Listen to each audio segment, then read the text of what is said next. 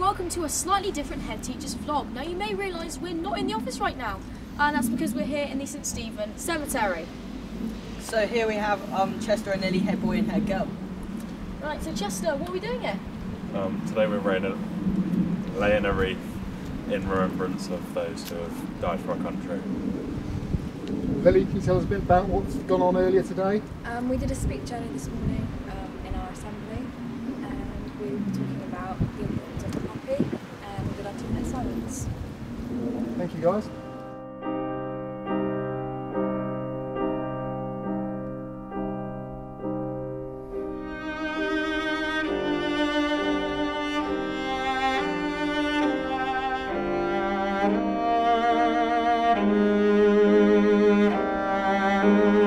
guys.